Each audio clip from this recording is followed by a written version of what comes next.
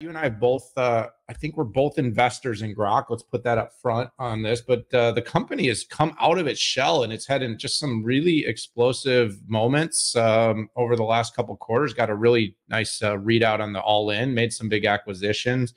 But also, Pat, uh, we're seeing some big milestones. Yeah. So Chamath Palihapitiya is is uh, an investor. He rarely talks about his investments, but he's super uh, excited about this one, and I think it's for it's for good reason, and and that is the LPU, uh, which uh, is essentially the chip that Groq uh, has, is very performant uh, versus NVIDIA uh, GPUs, and you know, Dan, we have um, debated kind of ASICs and and their pluses and and their minuses and the trick with uh, an ASIC based accelerator is is if you can put a software layer, I call it the magic magic API, so you can get two to three generations out of your chip.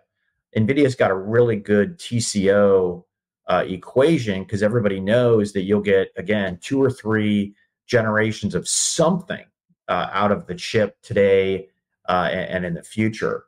Know, perfect example is that um, you know, GPT was uh, was trained on on the predecessor to the A100, not you know the H100 or even the A100. So, uh, with that said, big news: they have seventy thousand developers and nineteen thousand applications on their uh, on their cloud, and their cloud is is basically this was a an acquisition of Definitive IO CEO Sunny Madra uh, was out there. Very quick um, acquisition here, but what this this acquisition did, it it enables, uh, it lights up the capability for developers to go in and not just test workloads, but uh, use them to train and infer workloads. Now, long term, right, you want to stand this up on a an on-prem uh, cloud or something, let's say in a colo at, at Equinix, but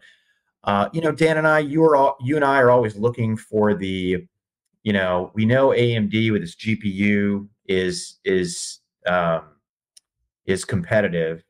Uh, Intel in 2025 with Falcon Shores, with a little bit um, of ASIC juice uh, involved is is a next player. But which ASIC is going to make things happen, right? Intel Gaudi, uh, LPU. So exciting stuff and exciting progress by the company.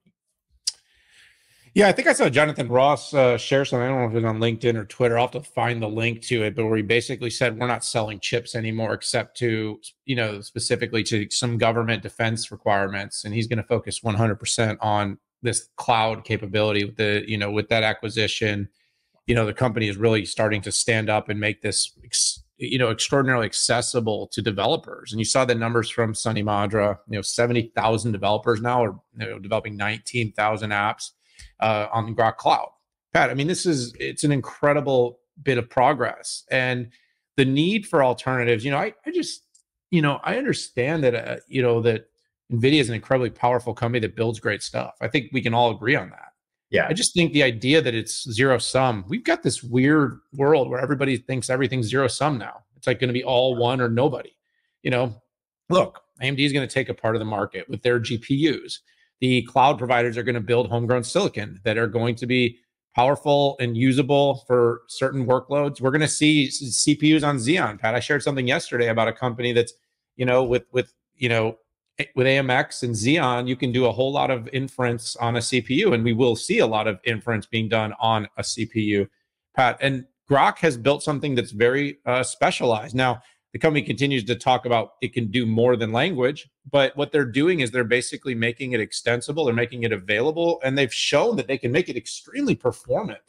Um, and so we knew that from the beginning, Pat. There was a reason that both of us felt this was investable when we got involved in it. And, uh, you know, we continue to cheer for it. But also, I think the market needs to pay attention. You know, there was a time I think both of us were concerned that Groq's uh, future was was going to be challenged. But in the last few months, they've come out swinging with innovation. Um, they seem to be refocused, repurposed, and the market is finding and identifying their technology Uh, and we're hearing a lot more about it. And that kind of buzz is good. And by the way, frothy, frothy valuations in AI right now.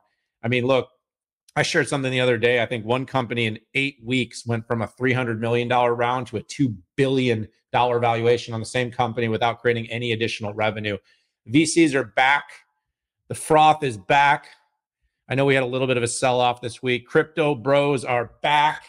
The money is flowing in. The AI uh, exuberance is here. But the nice thing about Groq Pat is this isn't exuberance. It's a real company, real technology. Uh, it's it's it's foundational and it's in a space that needs more competitors, chip makers.